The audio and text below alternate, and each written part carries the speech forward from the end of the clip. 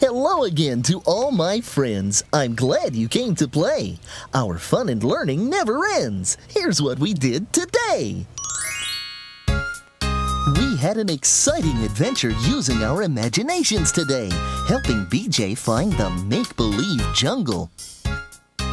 Imagination and make-believe are the same as pretending, like when we pretended we were underwater or when we imagined that we were rootin' tootin' cowboys and cowgirls. And imagination let us pretend we could fly. Baby Bop even pretended to be a princess. Isn't she beautiful? It's always nice to share your imagination with the people you love, and I love you.